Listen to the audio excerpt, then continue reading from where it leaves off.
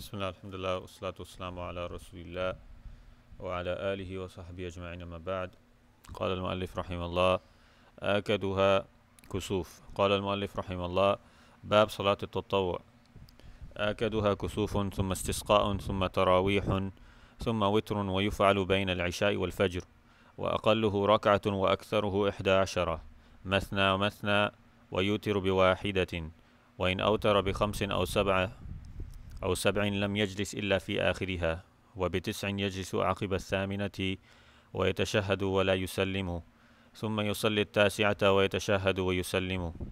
وأدنى الكمال ثلاث ركعات بسلامين يقرأ في الأولى سبح وفي الثانية الكافرون وفي الثالثة الإخلاص. ويقنط فيها بعد الركوع ويقول اللهم اهدني فيمن هديت وعافني فيمن عافيت وتولني فيمن توليت وبارك لي فيما أعطيت وقني شر ما قضيت. إنك تقضي ولا يقضى عليك. إنه لا يذل من واليت ولا يعز من عاديت. تباركت ربنا وتعاليت. اللهم إني أعوذ برضاك من سخطك وبعفوك من عقوبتك وبك منك لا أحصي ثناء عليك. أنت كما أثنيت على نفسك. اللهم صل على محمد وعلى آل محمد ويمسح بوجهه بيديه ويكره قنوته في غير الوتر إلا أن ينزل بالمسلمين نازلة غير الطاعون فيقنط الإمام في الفرائض. الحمد لله. الحمد لله رب العالمين والصلاة والسلام على خاتم الأنبياء أشرف المرسلين وعلى آله وأصحابه أجمعين. أما بعد. So continuing on in the earlier dars we covered the aspect of sujood sahu where the prostrations out of mistakes or forgetfulness that we have in our salah I will summarize uh, because the last dars there were some recording issues, so I'll just summarize uh, something to memorize.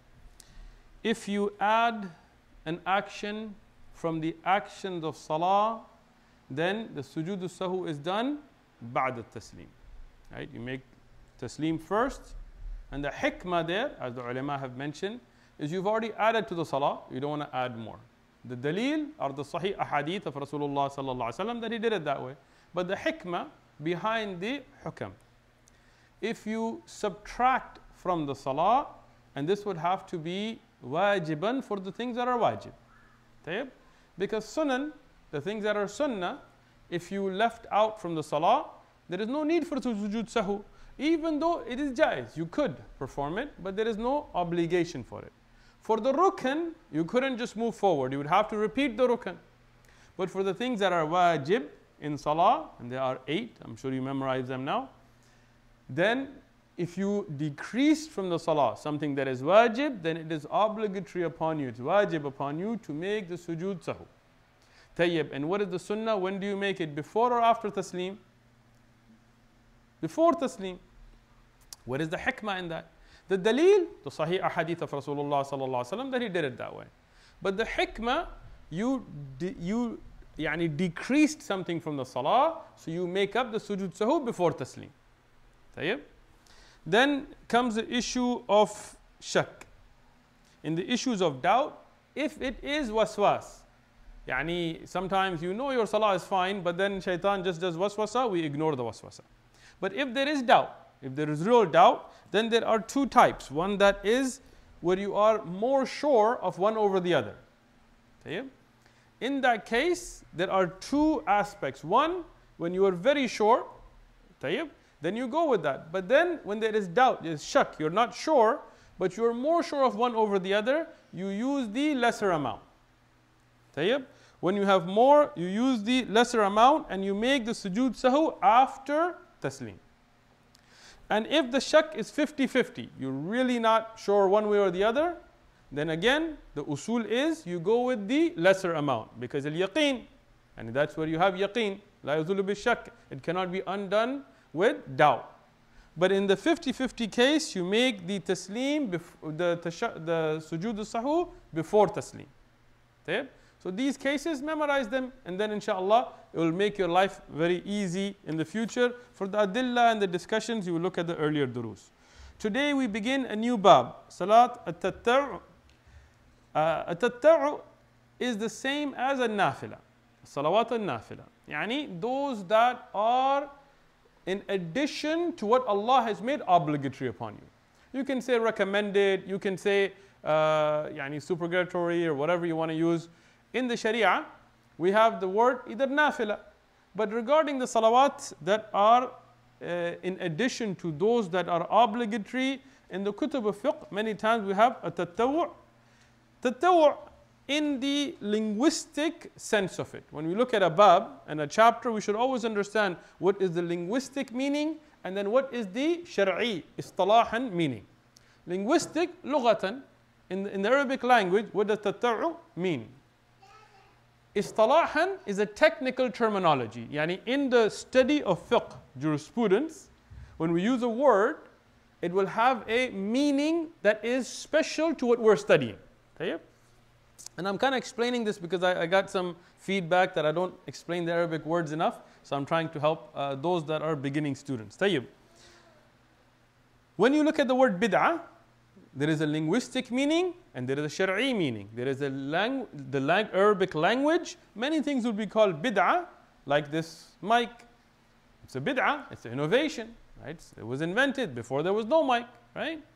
But in the sharia, this is not a bid'ah in the term that we use for innovation in the religion, we use the word bid'ah, but we give it the technical terminology of bid'ah, which is that it is an innovation in the religion that has to do with that which is either rewardful or not, meaning that it is something that would bring reward. So if we use a mic or we don't use a mic, if I use a different mic, right? Does it have any effect on my reward? No. Right? That has nothing to do with the Sharia. If we had uh, uh, the mic that's up there, or if I had no mic and I just had students next to me, no difference. I don't say if you use uh, whatever this mic brand is over this mic brand, you will get 10 rewards, you will get 20 rewards. No. We don't say on Saturday night you use a reward mic and on Friday night you don't. No. This has to do with just getting my voice out. Right? Like the muaddin, he gives the adhan. If he doesn't use a mic, alhamdulillah, if he wants the voice to reach further, we use a mic, alhamdulillah. That has nothing to do with Sharia. We don't say that without the mic you will get this much reward and with the mic you will. No. Tayyib. But if you say, recite Surah Al Waqi'ah after Isha on every Thursday night, and Allah will put uh, a golden goose into your kitchen or something, right? Now, this becomes a bid'ah. You can't say, oh, what's wrong with reciting Surah Al Waqi'ah? Nothing. Read Al Waqi'ah all you like, it's in the Quran, Alhamdulillah. But for you to add a particular virtue will become a bid'ah, and so on, or to make a new practice. Every Fajr, everybody has to make dhikr of this dhikr. Why? Did Rasulullah show us this? No. Or a new celebration like Mawlid and so on. Those are bid'at in the religion. So, understanding the linguistics of it here, what does tata'u mean in lugha? يعني الفعل التعا. Something that is an action of obedience right? Something that you obey with. Okay? But in the istalahan, in the shari'i, in the technical terminology used in fiqh, it is فعل طاعة غير واجبة. It is an action of obedience to Allah subhanahu wa ta'ala that is not obligatory. Wajib here will include fard and wajib. This is an obligation. Okay? If it is not obligatory, then it is tata'u or it be called nafal as well or it can be called mustahab طيب now under it there, there are separate categories there is mu'akkada غير mu'akkada or يعني بالجماعة or غير بالجماعة and many but these are two big buckets to understand there is that which is obligatory and that which is not that's the first distinction you need to make if it's fard wajib that is obligatory here in the hukam of an action, there is no differentiation. This is, if you don't do it, Allah will hold you accountable, sinful on the day of judgment. Then there is nafal or tata'u. Here it is that which is not obligatory, but you should do it to gain the reward and the blessings and what, what is something that is the way that Rasulullah has shown us. But if you didn't do it, it will not make you accountable on the day of judgment. Okay? These are two things you have to first understand. Now when we get to Salat al-Tatta'u, يعني Salat al-Nafila, those salawat, those prayers that are not obligatory, I want to make a point before we get into the bab. The first point is we have two extremes in the ummah today. And alhamdulillah, the way of Rasulullah sallallahu alaihi wasallam and the salaf of this ummah and those who follow them in the righteous path till the day of judgment is to be in the middle. One extreme is that it is totally ignored. People that just make the fard salah. Like they make their fajr rak'atain and they make dhuhr four and the asr four and maghrib three and isha uh, four and that's it. And they're not worried about any of the nafila. And this is wrong. This is wrong. This is not the way of Rasulullah sallallahu alaihi wasallam. It is not the way of the Sahaba radiyanhum. This is not the way of the Salaf of the Ummah. You should strive and struggle for the nafila. Don't think I've made my fard, I'm good. Why? Because Rasulullah sallallahu wasallam told us in the authentic, reliable hadith that on the day of judgment, the first of your actions that will be reviewed. Right? And it's from the Muslims, obviously the kuffar. but for the Muslims, the first of your actions will be a salah. And whatever is missing in the obligatory will be filled in from the nafilah. They, what do we benefit from this hadith? Two things that I'll point. There are thousands of benefits in each hadith, but two things. One, that you need the nafilah. Because all of us have shortcomings in our faraid. Which one of us can say that every fard salah that you ever made was perfect? Many of us, and you're, you're praying your salah and your khushu is somewhere else, and you're praying your salah, and you don't know how many rak'ah you made, you're praying your salah, and you're thinking about your store, about your work, about your wife, about your husband, about your children, about what, whatever else right? So we will have shortcomings. So we need the nafal salawat to fill those, right? So you need the nawafila. This is the first, right? The other benefit that you will get from this hadith is there are two categories of salah. Obligatory that you will be questioned and that which is not obligatory. Okay? And we'll derive the fiqh rulings about that in this dars inshallah. So this is one extreme. They ignore the nafal salawat, and this is, as I mentioned, this is wrong. The second extreme are those that either pray every single nafal or they don't pray at all. And I've seen this in many countries. MashaAllah, if they, if they pray, they will pray the mu'akkada and the ghair mu'akkada and the, and the mutlaq and all of those nawafil, mashallah. They will spend half a day praying. But then, when they don't, they don't even pray the fard. And we see this a lot. And you go to countries and the one day of the year that they do pray or, or one uh, day of the week, mashallah, they're making nafal and nafal and they're sitting and they're praying and they're praying, mashallah. And then the rest of the week they don't make salah. You tell them what happens, like too much for me. Ah, you can't make tarak of the fard salawat, ever. Look, whatever struggles you go through, I go through, we go through, whatever ups and downs of iman, whatever we go through one thing. This is my nasiha to myself and to you and to my kids and to everybody. One thing don't ever mess with is salah. Salah on its time you cannot mess with. This is the one thing Abdullah bin Shaqiq, the Tabi'i said that ijma'an, yani he said, kana ashab al-Nabi. This is, he, he didn't exclude any of the Sahaba from this. He said this is the one action that the Sahaba of Rasulullah sallallahu alaihi wasallam took leaving of which to be kufr. Ijma of Sahaba is a very strong dalil. Rasulullah صلى الله عليه وسلم said من ترك الصلاة فقد كفر بيننا وبينهم يعني بين المؤمنين والمشركين ترك الصلاة فمن تركها فقد كفر so many ahadith on this so many ahadith Rasulullah said that whoever abandons a prayer has done kufr between us and them, between the believers and the kafir, is a salah between the mushrik. بين الرجل والشرك والكفر ترك الصلاة. Between a person and shirk and kufr is leaving of salah. How much more explicit can these ahadith get? So, even if you're traveling, even if you're sick, even if you're tired, never abandon the salah. Two extremes, we leave both of them, we stick to the middle path. What is the middle path? No doubt we never, ever, ever slack on our fard salawat. And we strive and struggle daily as much as we can for the nawafila. The we push ourselves to pray those as well, as much as we can. Tayyib. This is the middle. May Allah put us on the wasat, yani in the middle path. Tayyib.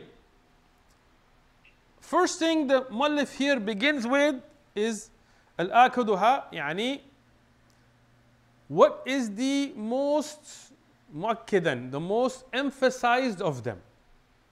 Okay? And we will discuss يعني ما هو الأفضل يعني what's أفضل is a different issue really virtuous right but here he's saying what is the most emphasized because sometimes uh, يعني there's different ways to divide it like for example many of the ai like Ibn Qudama when we study al-Umda he said the salawat that are nafila of the layl are better than that of the day with fadila right but that's a different way of, of, of looking at it. That's looking at the virtues of uh, nafal because of the ahadith about Allah subhanahu wa ta'ala descending to the last sama and the salah of the light and Rasulullah emphasis on that and so on. But here the emphasis is on what is the most emphasized of them when you look at them as a salah in itself. And, and, let me give you some of the uh, points that you should benefit from this bab, just so you can write them as we're beginning. And this is the first of them. Akaduha, يعني what is the most emphasized of tatta'u? We'll cover that. Second, the discussion on witr and how it's prayed and its, and its ruling, which inshallah we'll cover today. Then a tarawih, salatul tarawih, which we will not cover today, inshallah in the next dars. And then a ratiba, what is the salawat that are connected to the fard salawat, and al nafal al mutlaq, what are the uh, general nafl and what are the ahkam there. And then al-faraq bayn al-mutlaq al-muakkid, what is the difference between those that are specific and those that are non-specified, salatul duha, uh, and then those salawat that are either considered salawat or af'al like at-tilawa and shukr, and then the times of nahi.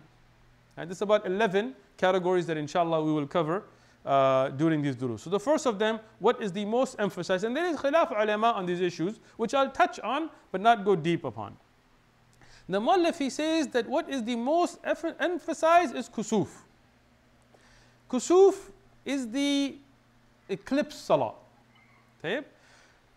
Some of the ulama have said, looking at the wordings mentioned in ahadith, that kusuf is for the solar eclipse and khusuf bil kha is for the lunar eclipse.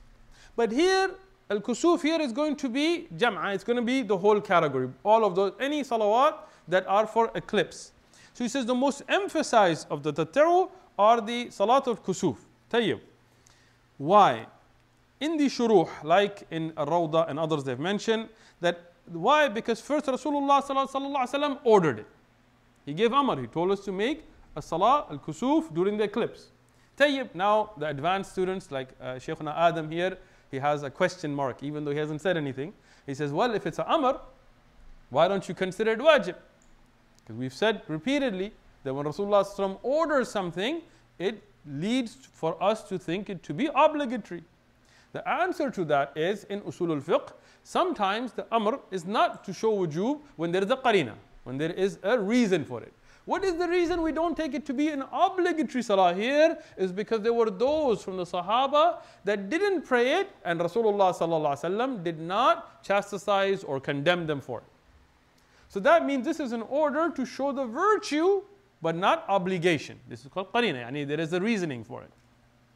But the fact that Rasulullah ordered it does show that it is something very important. Secondly, وَخَرَجَ إِلَيْهَا يعني that Rasulullah himself went out uh, in a very particular manner. He was very uh, yani, adamant about going out. And, and when we cover how to pray Salatul Kusuf, we'll, we'll discuss about the dress and going and, and rushing and, and khushu and khudu and all of that stuff. But he was very yani, particular about going out himself and praying it. وَلَمْ يَتْرُكَهَا عند وجود سببها. And Rasulullah never left it as long as there was the reason for it. What does that mean? We don't have any proof that there was an eclipse and Rasulullah did not pray kusuf.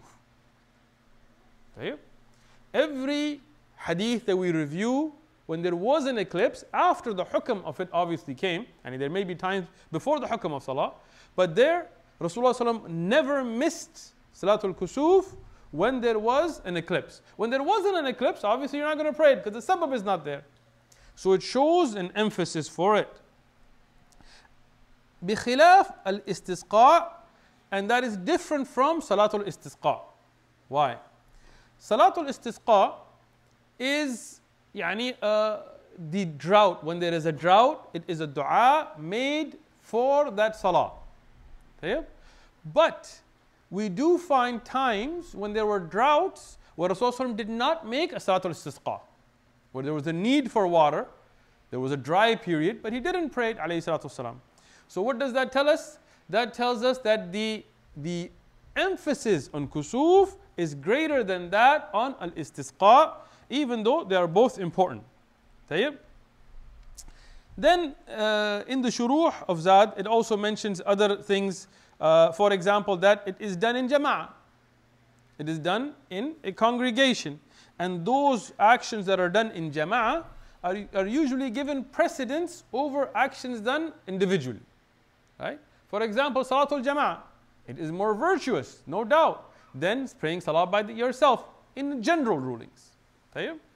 And it is tashbihan lil fara'id. Yani it, it, is, it, it resembles those that are obligatory actions, right? What are the obligatory salawat like Jum'ah, right? Like the five salawat, those are done in Jama'ah. Other nawafil are done by yourself, usually, other than those that are, we'll discuss that are in Jama'ah. So, those that are done in jama'ah are given a, another virtue here because they resemble those that are obligatory, which are more virtuous. And there are many other. Uh, I mean, I'll just mention one more. I don't want to make it too long, but I want you to understand we don't just give ratings to things just because a sheikh wants to. There are adilla and, and there is yani ijtihad and there are evidences and a lot like like I'm summarizing this, even though in some of the shuruh there are three, four pages of discussions on just on this. Okay? And the last thing I will mention, which I thought was a very beautiful point, one of the shuruh mentions, is that Salat al is nafil. Amongst it, when we look at there are some that are done like kusuf, yani fearing Allah subhanahu wa ta'ala's punishment. And only for the sake of Allah subhanahu wa ta'ala. Some are done like al-istisqa with worldly benefit as well. Of course it's for the sake of Allah. But if you have an eclipse what are you turning to Allah subhanahu wa ta'ala for? Is khawf, yani the fear of the adhab of Allah, of the punishment of Allah, and wanting Allah to have mercy on you. And if you look at the adhkar and dua and khutub that Rasulullah gave, it was calling towards obedience of Allah and leaving of sins. Al istisqa, the drought salah, is done also for worldly benefit. You ask Allah in the dua, even in the khutbah, and, and yani, uh, the, the, not necessarily a khutbah like Jum'ah, but in the request of Allah subhanahu wa ta'ala, you ask for the beneficial rain and you uh, ask Allah subhanahu wa ta'ala for uh, benefit in dunya to take away the drought. So there is a worldly aspect to istisqa, but for al kusuf, it is strictly for the akhirah and for the uh, sake of Allah subhanahu wa ta'ala. So this is given another form of precedence. طيب. فقال المؤلف and the continues ثم الاستسقاء then the drought salah the second most emphasized amongst them is the drought salah the muallif here mentioned some adilla for that which is again that it is done in jama'ah and there is a benefit for the ummah uh, and so on. الشيخ ابن عثيمين in شرح الممتع and many other أئمة and ulama they give precedence to witr over istisqa. They said al-kusuf thumma al-witr. Shaykh ibn Uthaymeen. Right? Now, the muallif here, al-Hajjawi, Zad al-Mustaqni', he did not. Shaykh ibn Uthaymeen, he gave adilla. He said witr, for example, Rasulullah sallallahu wasallam, he emphasized it from the hadith of Ali radiyanhu, O people of the Quran, pray the witr. He prayed it even when he was traveling and so on. The muallif here, and he didn't, because this is a matan, he didn't go into detail, but in other books of Al-Hajjawi, he explains this, and Al-Buhuti and others, in, in Rawda, for example, he explains some of the benefits, and those, the other ulama that wrote shuruh, they said the istisqa is done in jama'ah, and witr usually is prayed by itself. I mean, unless you are praying Qiyam al-Layl in jama'ah or, or Taraweeh, so on, witr usually is done by itself. And Al-istisqa has a, yani where Rasulullah gathered the people for it. Right? And it has very special rules, and we'll talk about how to pray it when we get to that bab. And it has a benefit for the masses. It is not just an individual salah that benefits you, like al-witr. it benefits the masses. It is a salah, it is an ibadah, but it also has a benefit for the people and so on. Either way, it's, it's not it's not an issue of يعني, a clear dalil. This is just ijtihad of ulama. Both have their adillah, but in the matan, the way the madhab is that it is al-istisqa, then at-tarawih. Why at-tarawih? Again, it is done in jama'ah, the fadail are many, and it is done يعني, in a special occasion. It, it has tashbih of the faraid because it's done together. And then al-witr. The muallif says after tarawih al-witr. So the, the sequence that given by the muallif on the emphasis al-kusuf, then al-istisqa, then al-tarawih, then witr. Shaykh ibn Uthaymeen others they put witr but they kept the rest of it in that tartib. The muallif continues ويفعل بين العشاء والفجر يعني you pray the witr between Isha and Fajr. طيب. So when we talk about يعني those things that are the most virtuous here we're talking about between nafal salawat. Just want to be clear. The fara'id obviously will be more virtuous than any of these. Right? You cannot compare the fard with nafal. And I'm, I mean, I shouldn't have to say this, but there are people who miss the fard because they're making dhikr. Once I was in uh, uh, the Bay Area, I'm not going to mention the name of the masjid, uh, but there was a brother, not going to mention where he was from. He came, and we were there many, many years ago. And he sat in the back and he was making adhkar. And the way he was making them was bid'ah, first off. He was sitting there, going, Allah, Allah, Allah. When did Rasulullah teach us to make dhikr like this? Right? Not subhanallah or alhamdulillah, but loud. Khalas. Salah in jama'ah stood. He's there. Right? He lives there. He's not a musafir. Not like he's making jama'ah. He lives there in the neighborhood. Salah in jama'ah stood. We went. We made salah in jama'ah. He, he sat in the back. We're making jama'ah and it's a silent salah. I forgot it was dhuhr or asr. And in the back we hear Allah, Allah. Subhanallah. After we finished the salah, one of the brothers, he went and he talked to him. He said, Akhi, yani, first thing you didn't join the salah in jama'ah. The muaddin gave adhan, the iqama, salah is there. Even if you had already prayed, you make the salah again. Even if it's asr and you've already prayed it, it's time of man'a. If the jama'ah stands in the masjid, you pray. You were sitting there, right? And he said, I make dhikr. So yes, dhikr, of course, in the sunnah way, not in the way he was doing it, but in the sunnah way, is mustahab. But the salah and jama'ah that's fard takes precedence. And the same guy, he went to the bathroom, in the bathroom, he went, Allah, inside the stall. The brother that was next to him said, Don't say the name of Allah. but he was also in the bathroom. Another brother said, Astaghfirullah, you said the name of Allah as well. And the brother goes, Astaghfirullah. but khair, the point of the story here was nawafil. There are categories of nawafil between their virtues, but never compare them to the faraid. What is the best deed mutlaqan bad nawafil? Yani what, like if you just take all general faraid, all obligatory, not just salah, hajj and uh, zakat and all of the faraid, they are the most virtuous. After that, if it is a non-obligatory action, there are different opinions of ulama. I'll mention just some of them. Imam Ahmad, he took al-jihad fi sabilillah, al-qital. الشافعي and Imam Malik they took uh, لا الشافعي he took uh, جهاد طيب الشافعي he took طلبة علم يعني أو the seeking of knowledge or نفل صلوات Abu Hanifa and Malik they both agreed that it is the seeking of knowledge in general the best action after the nawafila is seeking knowledge, no doubt to that. But there are times when qital fi sabilillah and things will be in precedence. Tayyib. Now we discussed uh, all of these differences. Regarding how to pray kusuf and how to pray istisqa and how to pray tarawih, we will get to those above. But because the muallif here, he mentions witr, in that category and then he gets to how to pray the witr salah. The first thing is when to pray witr. The muallif here says يفعل it is prayed بين العشاء والفجر. It is prayed between Isha and Fajr. What does that mean? It means after you pray Salatul Isha. Not the time of Isha. You cannot say the adhan of Isha has happened, I'm going to pray my witr, and then I'll make my fard of Isha later because bain al Isha al Fajr la. This is a mistaken idea. It has to be after you pray Isha, your Isha Salah. And before the adhan of Fajr al-Sadiq, a Fajr al-Thani. What does that mean? In Fajr, there are two adhans. One is done before the time of Fajr enters. This is called Fajr al-Kadib or Fajr al-Ula or Awal. Tayyib, which is the first adhan, which is done when the actual time of Fajr is not in.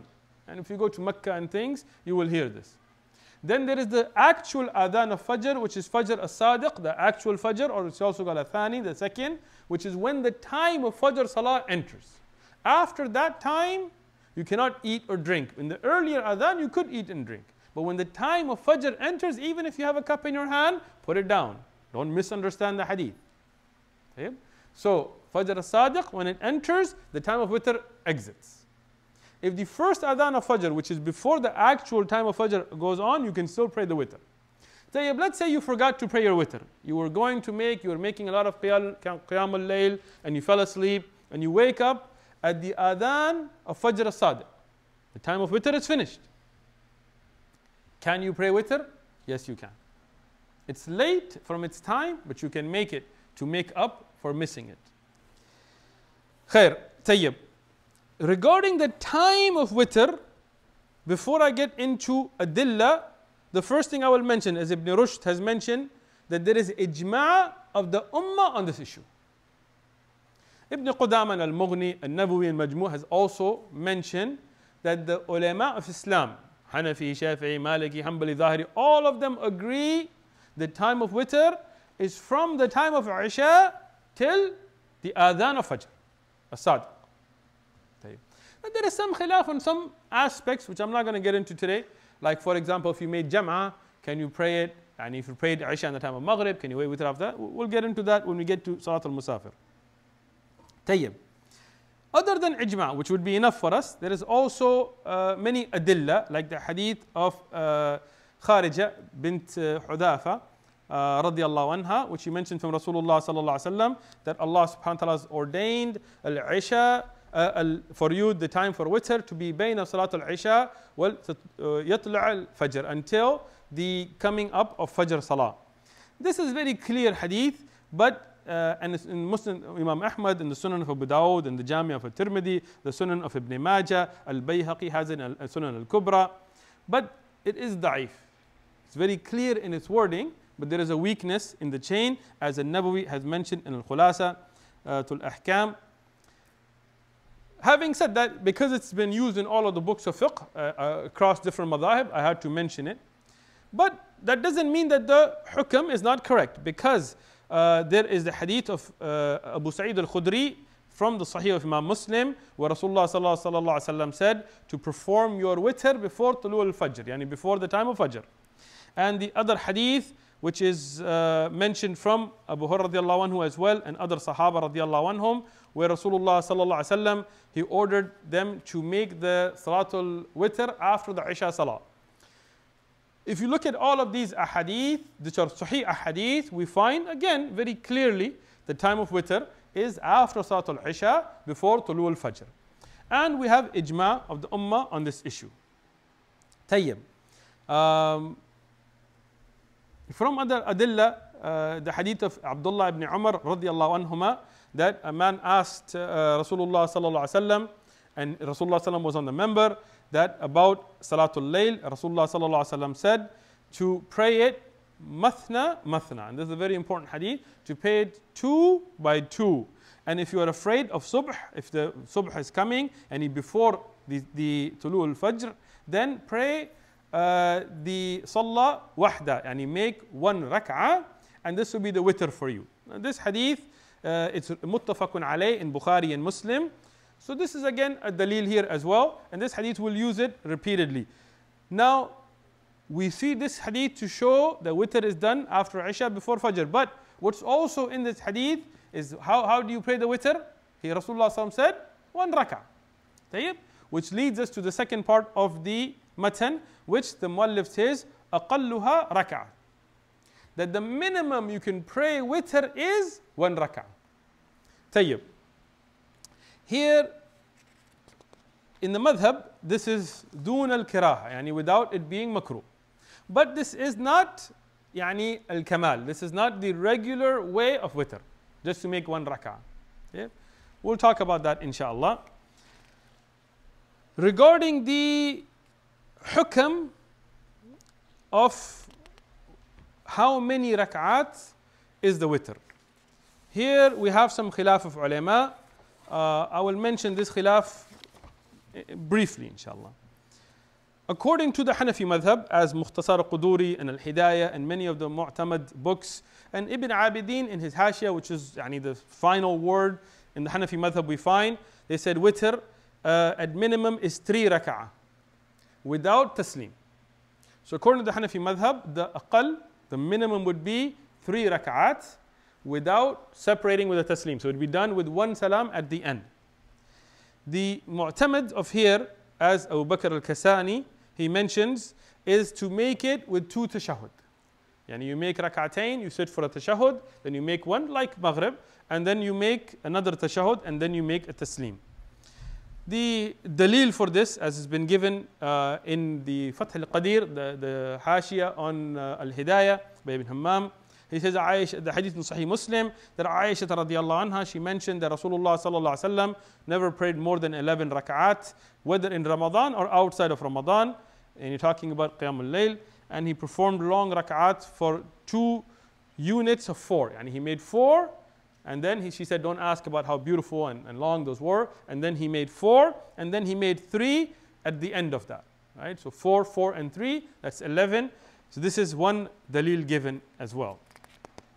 Then there is the hadith of Aisha radiallahu anha, uh, which is mentioned that Rasulullah sallallahu alaihi wasallam never used to perform taslim after the first two rak'ah of witr. This is mentioned by Al-Hakim and it was graded as da'if by the jumhur al-ulama of hadith. And if you look at the takhrij of Al-Hakim, you will find that this was a weak narration, but it is used, so I will mention it. The second uh, opinion amongst the ulama of Islam, and this is the mu'tamad, even though there are two opinions within the Maliki madhab, but this is the relied upon opinion in the Maliki madhab and the Shafi'i madhab and the Hanbali madhab, is that the minimum is one. Minimum is one. But according to all of these madal, the adna al kamal, and the minimum regular should be made three, but it should be done with two, and then taslim, tashahud and taslim, and then one.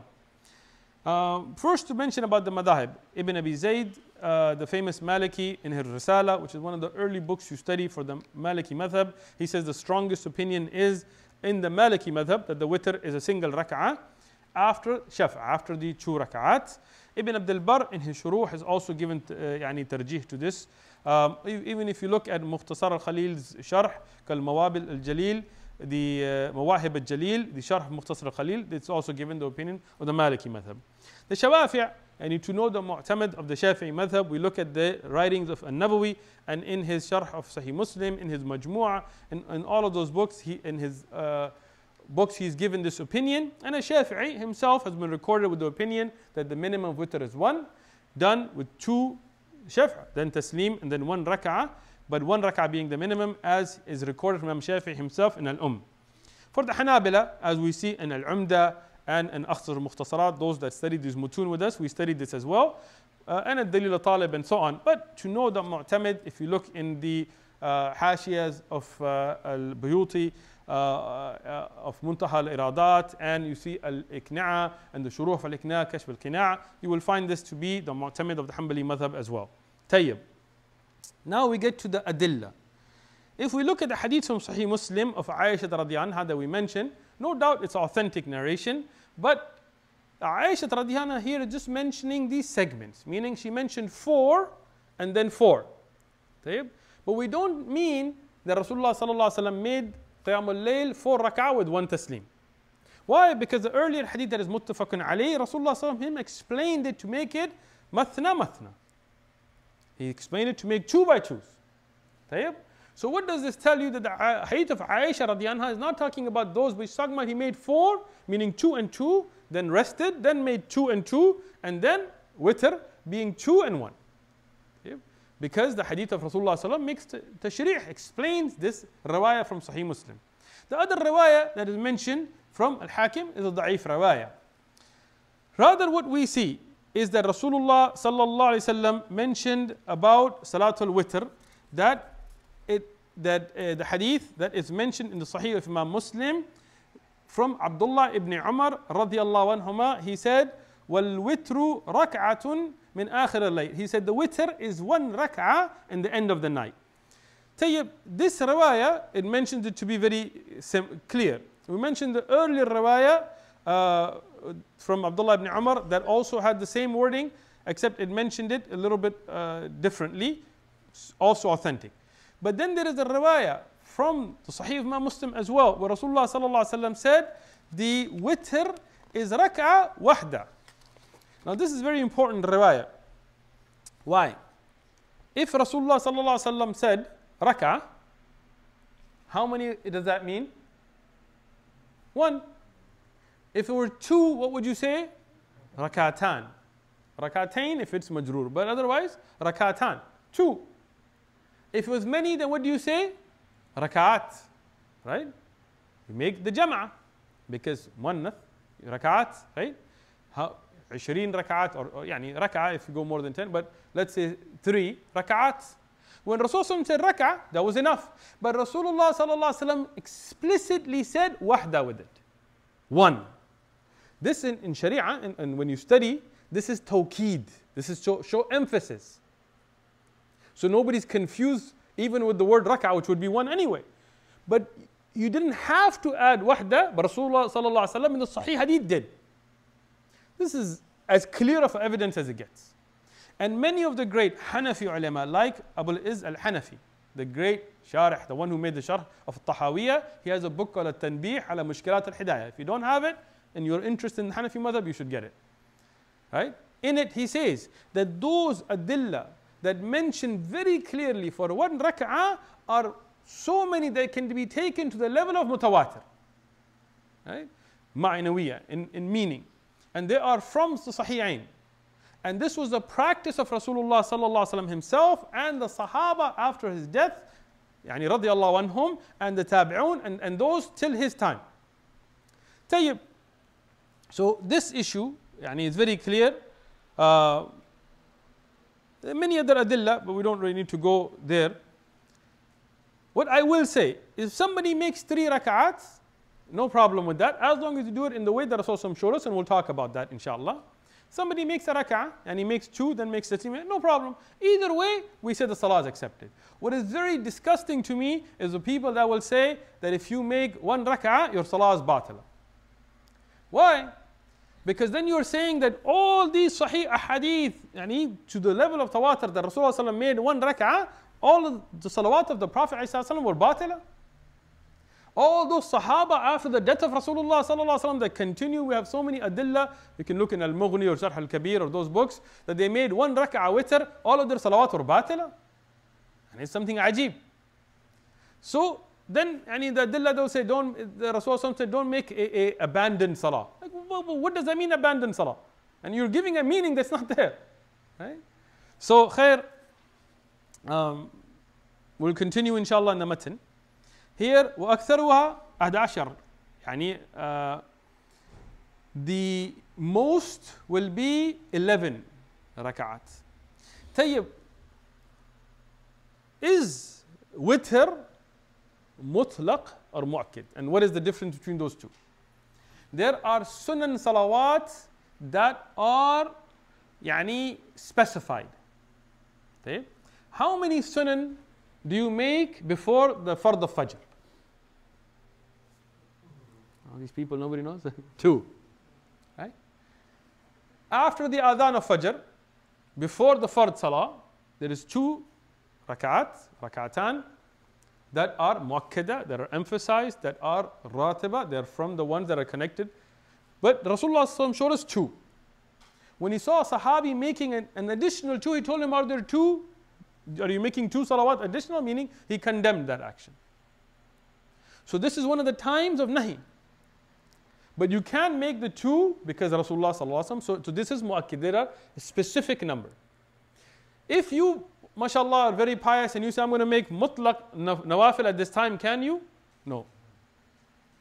Okay? Witr is also like that. The minimum of witr, minimum, minimum is one. Minimum complete is two and then one, which will be three, but separated with taslim. The most is 11.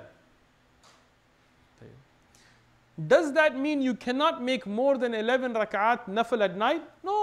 You can make all the nawafil you want. But those would be mutlaq. Mutlaq means those that are not specified. You're traveling and you know, you, you're in the, in the car, you face the qibla, you just want to make nafil. Not the time of, uh, not a time that is forbidden. Let's say it's after Maghrib and before Isha, you've prayed Maghrib Fard Salah, you're just in the car, make your nafil, make as much as you like. You wake up at night, you, you just want to make nafil salawat, make 300 rakat, no problem with that Ijma'an, by the consensus of the ulama, the nafil mutlaq, you can make as much as you like. But those that are specified, you have to follow the way of Rasulullah sallallahu alaihi wasallam. Witr, the most you can make of it is 11. Tayyib. How do you do it? The muallif here then says, it is prayed mathna mathna. It is done two by two, ويؤتر, and then you make witr بوحدة, يعني with one. Al-Wahida here is going to be the final one rak'ah. Okay? So you make two, two, two, two. For example, you did eight now. You did two more, that is ten. And then one. This is the best way to make witr. Now, Qiyamul Layl, if you want to add to that, you can. Like Taraweeh and things like this, which is Qiyamul Layl, you can add to that. But that is not witr. That is Qiyamul Layl. And then you will have the witr, which is usually in, in, uh, in these masajid, will make three or one which will be the witr and the end of Qiyamul Layl. But if you're praying witr by itself, you can pray it in this way. Tayyib. What is the dalil for that? We also mentioned Hadith of Abdullah ibn Umar radiallahu anhuma, and as we mentioned, this is uh, alayh. And then we have the, uh, another narration that is also from the Sunan of Abu Dawud, that Imam uh, uh, Abu Dawud graded to be Sahih, and so on. They, they mention these. So, no doubt to this. Tayyib. You can also make witr, as the, Muallif mentions, khamsa, with five, or sab'a, or seven. Now, this is something Ibn al Qayyim, for example, Zad al Ma'ad, he gives all of these types in their adillah. This was done by Rasulullah sallallahu occasionally. Not regularly, but occasionally. There is the hadith of Aisha radiallahu anha. It is mentioned in the Sahih of Imam Muslim, where Rasulullah sallallahu he made the uh, 13 rak'at. 13 here, meaning some of the ulama mentioned this is the two after Isha included here. But here he, she said he made bi khamsa, he made five rak'at of witr. He did not sit in any of it except the last. In another riwayah that is uh, mentioned also in the Sahih of Imam Muslim, she said that he made seven in the same way. He did not sit in the end. So if you make your witr, occasionally, it's not the regular way, occasionally you can make five rak'at straight, no tashahud. You will only sit in the fifth rak'ah. I know it's not usual, but these are Sahih ahadith, Rasulullah did it. Sometime in your life you should do it, but this is not regular. This is not the regular way of Rasulullah. So five rak'at, only sitting in the end, one tashahud, one taslim. Or seven rak'at, also the same way. No sitting in any, not after two you don't sit, after four you don't sit. You only sit in the last one and only one taslim. One tashahud, one taslim. These are authentically established from Rasulullah sallallahu alayhi wasallam.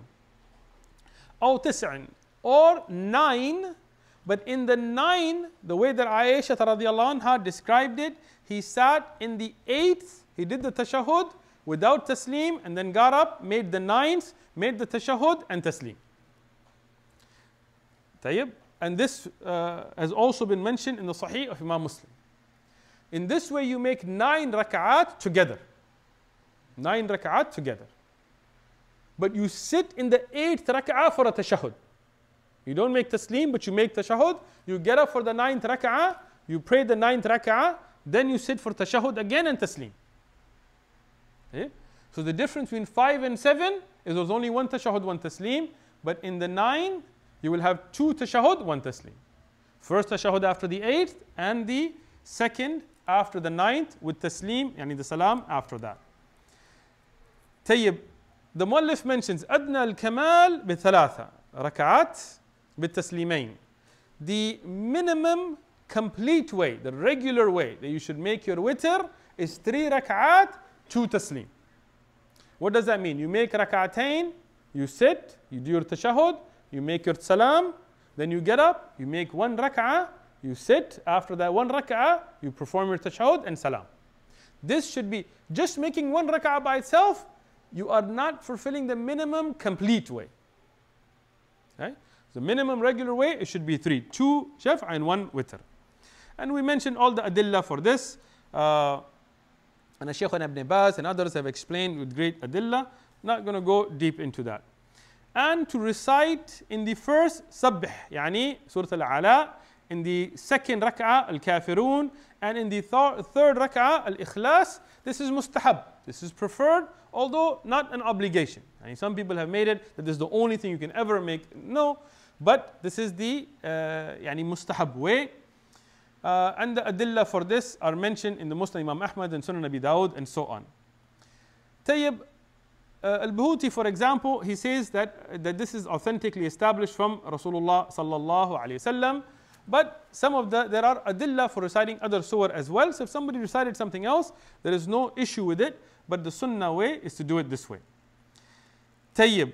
And then the qunut is done in the last rak'ah according to the madhab بعد الركوع uh, بعد الركوع طيب now there is some khilaf of ulama some imma and ulama said that the qunut is done before ruku' okay?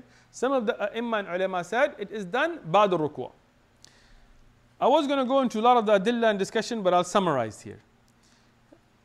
If you look at, as Al-Buhuti has mentioned in Rawda, that what is authentically established with the strongest chains then no doubt as the riwayah from Abu Huraira radiallahu anhu from Rasulullah sallallahu alaihi wasallam from Anas ibn Malik and these are in Sahih Muslim and from Ibn Abbas radiallahu anhuma from Rasulullah sallallahu alaihi wasallam in the Sunan of Abu Dawud it is also Hasan riwayah. These are done after ruku'. Where Rasulullah sallallahu alaihi wasallam he made ruku' and after ruku' he made the qunut. But as al-Buhuti as others have mentioned that قبله يعني before ruku' بعد القراءة جاز. That is permissible to make the, the qunut before ruku'. This is permissible because there is the hadith of Ubay ibn Ka'b radiyallahu anhu. Some of the Imma said that is for Nazila and so on. I'm not going to go deep here, but what is important here is Hanabila their usul is we don't want to reject sahih hadith if there's two ways that are authentically established we don't reject them we don't say one way is rejected. Why? Because established. But we do look at what is asha, what is more authentic, athbat, more proven, and akthar, greater in number. Because that shows the regular way of Rasulullah sallallahu alaihi wasallam, and that is to make the qunut ba'd ruku'. So you make your one rak'ah witr, you make your ruku', after ruku' you make the qunut. To raise the hands in qunut is proven from Umar ibn Khattab radiallahu Even if it's for nazila, but this is proven. And we don't have a dalil from Rasulullah sallallahu alaihi wasallam to either raise the hands or fold the hands or leave the hands. For qunut. We don't have a hadith that Rasulullah sallallahu alaihi wasallam raised the hands in qunut. We don't have a hadith that he folded the hands. We don't have a hadith that he left the hands down. So we cannot prove. So when we don't have a, a dalil from Rasulullah, we know that he performed the qunut. So his hands had to have been somewhere. But when you don't have a dalil, then we have to look at the Khulafa al-Rashidin. Because Rasulullah told us, alaykum bi sunnati wa sunnat al-Khulafa al-Rashidin al-Mahdiin, right? So then, when we have a dalil, and in the book Juz Raf al-Yadain, Imam Bukhari has mentioned this with authentic, not in Sahih al-Bukhari, but in that book, with authentic. He says it's authentic. So then we take that as a dalil to raise the hands in qunut. Some of the people, that what they did, that before the ruku' they make an extra takbir this is a baseless hadith. And then they fold the hands saying that it's out of etiquette. No doubt that folding the hands is out of the etiquette, but when you have a dalil to make a raf al yadain, then that is a sarih, that is a clear dalil, then you don't go to the am, you don't go to the general. When you don't have a hadith, like for example, regularly after ruku, then yes, bring that same usul back and use it to fold the hands, no problem. But when you have a dalil, Umar ibn Khattab, he did in, uh, in qunut, raise the hands, then you can't go to regularly saying it's out of etiquette. You have to follow the khas, so this is done. Then you recite dua of qunut, as the mullif has mentioned here, and is well known, but inshallah we'll stop here for the sake of time. Wa jazakumullahu khairan.